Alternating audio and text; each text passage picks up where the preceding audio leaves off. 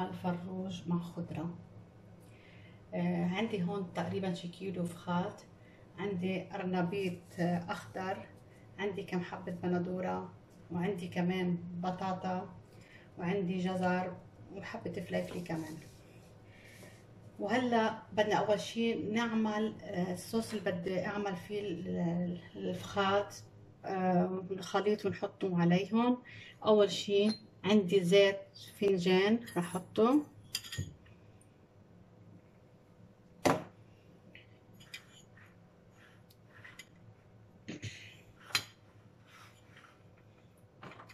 وعندي هون سبع بهارات.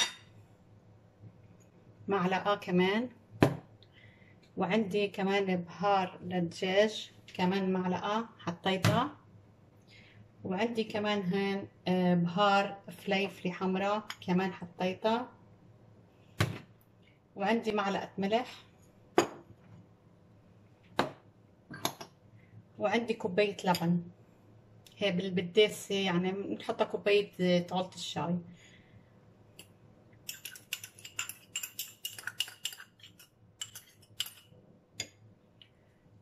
هلأ بنخلطهم كلهم هول مع بعضهم. بدنا ندهن فيهم الفروج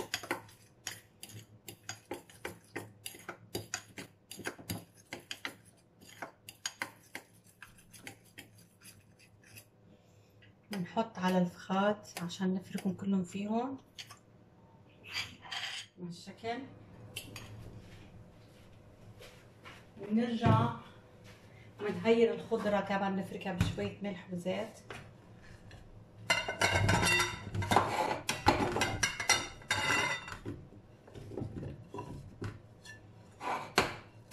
أول شيء بنفرك نحط لهم شوية ملح للخضرة ونرش شوي عليهم ما يكون يمنحوا معنا لأني حاطة أنا بالفخار. نحط عليهم شوية زيت.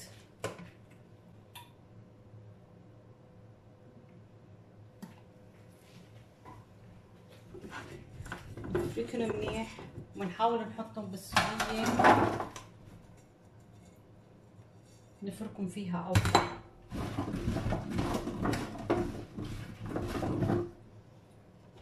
كمان نحط فوق منهم الأرنبيط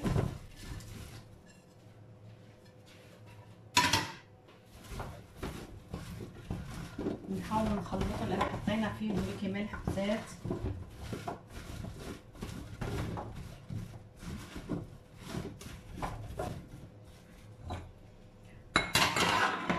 وبنخلط هذا الفروج بنشوف كيف رح يصير معنا. فرجيكم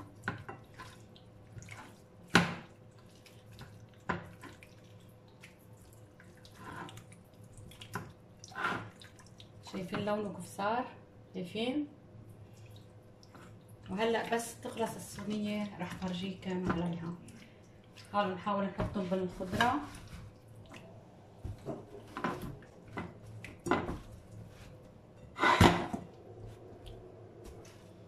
والباقي وين عم نحطهم على الخضرة ونفركهم كلهم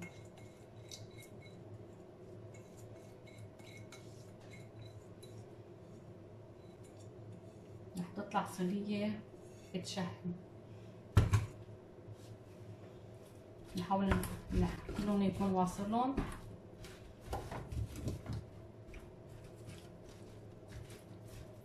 بنحط الفرن أنا حميته قبل ما بلش بنحطه على نار. وسط يعني. ما بنحمي كتير عشان يستوي معنا الخليط على مهله شايفين بالبطانية